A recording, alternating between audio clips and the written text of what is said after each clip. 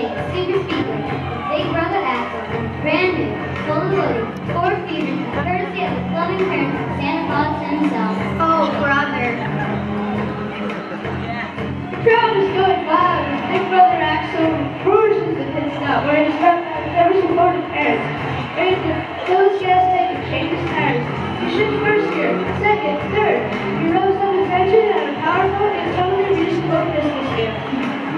120, 130, 140, he rounds the corner at 170 miles an hour.